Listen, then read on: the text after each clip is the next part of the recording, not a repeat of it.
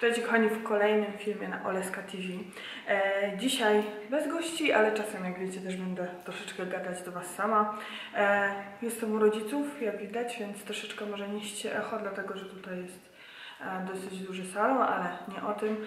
E, dzisiejszy temat e, filmu to e, spotkania po latach.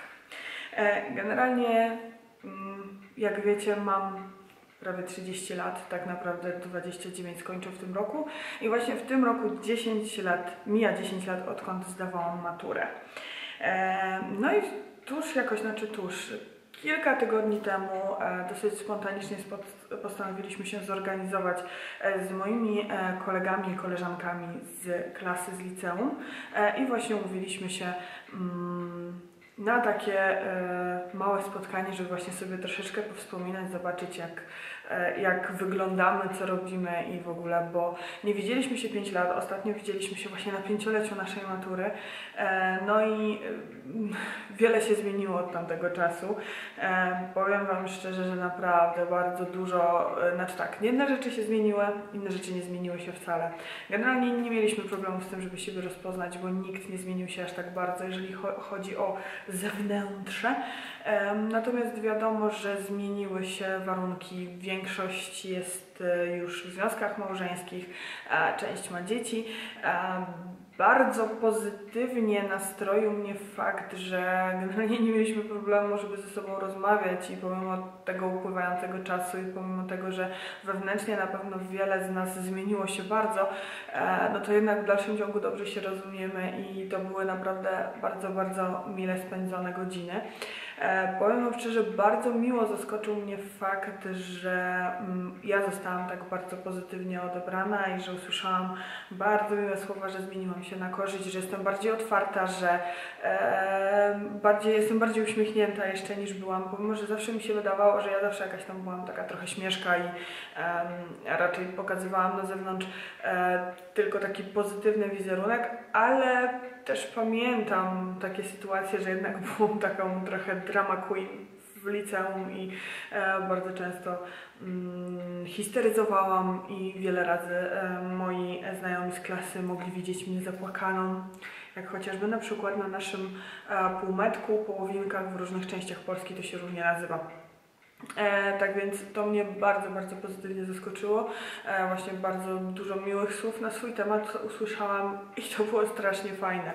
E, I powiem Wam szczerze, że takie cofanie się do przeszłości, o ile to nie jest jakieś tam masło maślane cofanie się do przyszłości, bo jakby się można było jakoś inaczej do przyszłości udać, jest dla mnie przynajmniej bardzo, bardzo dużym przeżyciem.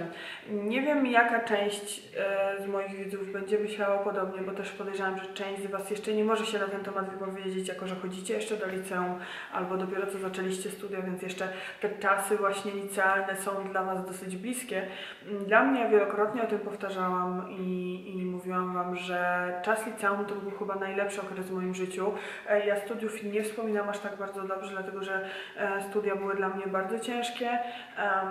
Ja praktycznie nie odczułam takiego prawdziwego studenckiego życia, jak większość ludzi ma okazję, e, przez to, że po pierwsze zostałam w domu, po drugie studiowałam filologię angielską, która jest ciężkim kierunkiem i nie ma czegoś takiego jak na większości kierunków, że uczymy się tylko w sesji. Ja miałam sesję, sesję non-stop, po prostu nie było tak, żebym ja w tygodniu siedziała i się nie uczyła, bo kolokwium było po prostu non-stop, jedno za drugim.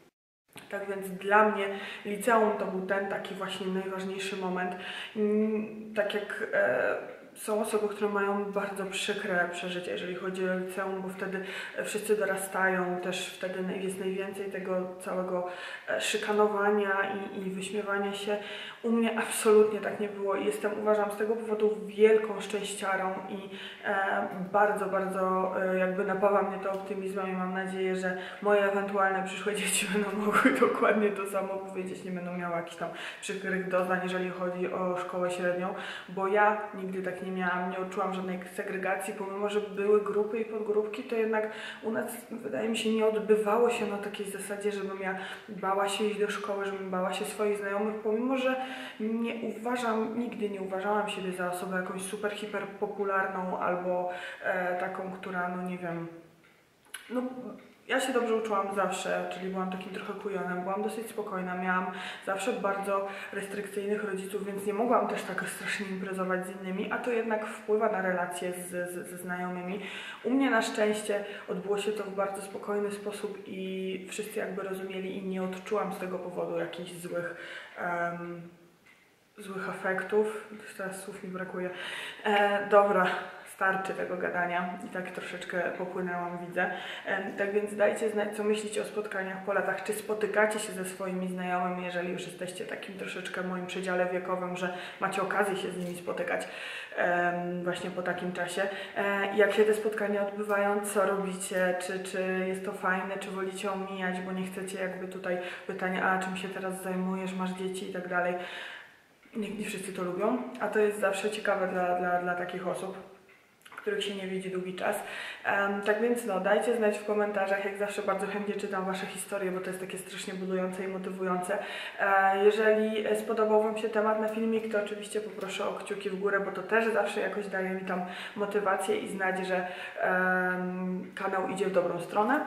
E, oczywiście zachęcam do subskrypcji, jeżeli jeszcze tego nie zrobiliście. No a dzisiaj e, dziękuję Wam bardzo za oglądanie i serdecznie Was pozdrawiam z przepięknej wsi województwie śląskim. Do zobaczenia, papa. Pa.